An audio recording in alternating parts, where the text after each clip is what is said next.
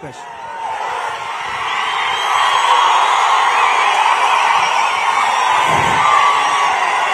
మనందరి అభిమాన నాయకుడు ఆంధ్ర రాష్ట్ర ఆరాధించే ప్రజలందరూ ఆరాధించే వ్యక్తి మన నారా చంద్రబాబు నాయుడు గారికి స్వాగతం సుస్వాగతం.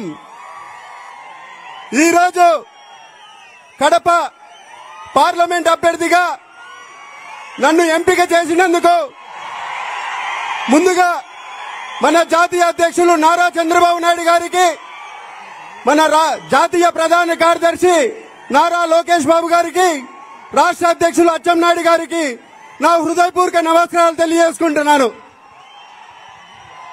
ఈరోజు మన రాష్ట్రం రెండు వేల పంతొమ్మిదిలో వైసీపీ ప్రభుత్వం ఏర్పడిన తర్వాత ఈరోజు ప్రజలు ఏ విధంగా ఇబ్బందులు పడుతున్నారో మనందరం తెలిసిన విషయమే.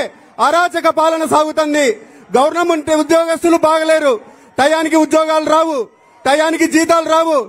ఇట్లా అన్ని విషయాలలో రైతులకు డ్రిప్ ఇరిగేషన్ కానీ ఫామ్ మెకనైజేషన్ విషయంలో కూడా ఈ ప్రభుత్వం ఫెయిల్యూర్ అయిపోయింది. ప్రతి విషయంలో ఈ ప్రభుత్వం ఫెయిల్యూర్ అయిపోయింది ఈరోజు. కాబట్టి రాష్ట్రానికి ఒక పెద్ద కొడుకుగా ఉన్న నారా చంద్రబాబు నాయుడు గారు విజన్ ఉన్న నాయకుడు ఖచ్చితంగా మళ్ళా కాబోయే ముఖ్యమంత్రి మన నారా చంద్రబాబు నాయుడు గారని ఈ ప్రజల సాక్షిగా నేను మీ అందరికీ తెలియజేస్తున్నాను.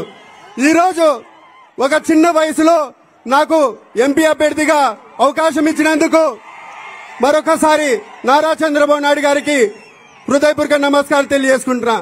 ఈరోజు ప్రజలను చూస్తున్న ప్రజల్లో ఇబ్బందులు పడుతున్న ఇవన్నీ కార్యక్రమాలను గమనించి ఈరోజు చంద్రబాబు నాయుడు గారు సూపర్ సిక్స్ అనే కార్యక్రమాన్ని కూడా తీసుకొని రావడం జరిగింది.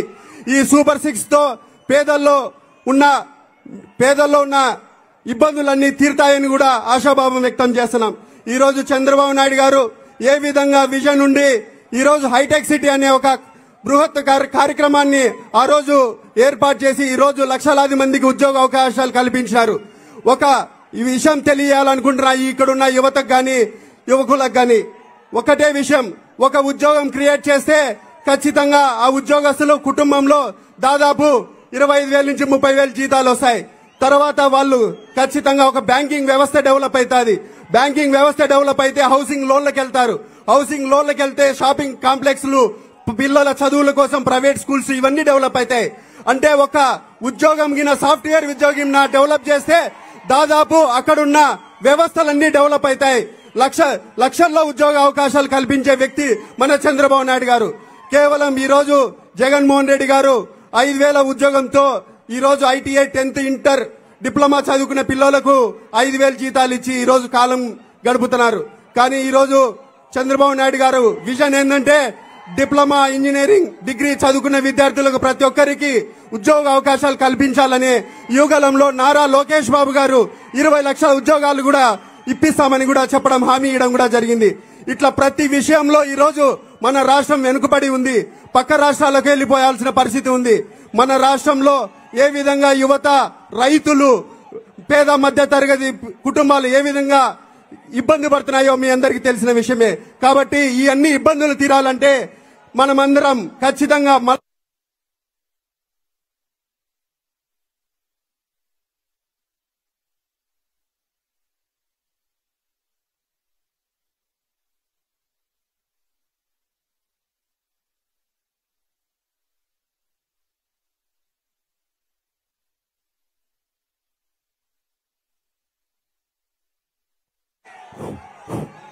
కాబట్టి ఈరోజు మనం ఇప్పుడు రానున్న సార్వత్రిక ఎన్నికల్లో మనం చంద్రబాబు నాయుడు గారిని ముఖ్యమంత్రి చేసుకుంటేనే మన రాష్ట్ర భవిష్యత్తు మన రాష్ట్రంలో ఉన్న పేద మధ్య తరగతి యువతి యువకులు టే- గ్రాడ్యుయేట్ చదువుకున్న వాళ్ళు ఇప్పుడున్న ఉద్యోగస్తులు కూడా టయానికి జీతాలు రావాలంటే రైతులకు ఖచ్చితంగా మంచి రోజులు రావాలంటే మళ్ళా మనం చంద్రబాబు నాయుడు గారిని ముఖ్యమంత్రి చేసుకుంటేనే మన అందరి భవిష్యత్తు బాగుంటుందని చెప్పి తెలియజేస్తున్నాను.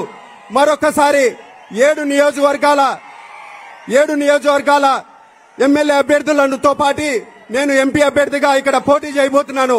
మీ వాళ్ళందరి సహకారంతో నేను ముందుకు పోతానని తెలియజేసుకుంటూ ఈ అవకాశం ఇచ్చిన పెద్దలందరికీ నా హృదయపూర్వక నమస్కారాలు తెలియజేసుకుంటున్నాను. జై తెలుగుదేశం! నారా చంద్రబాబు నాయుడు గారి నాయకత్వం! నారా చంద్రబాబు నాయుడు గారి నాయకత్వం! జై తెలుగుదేశం!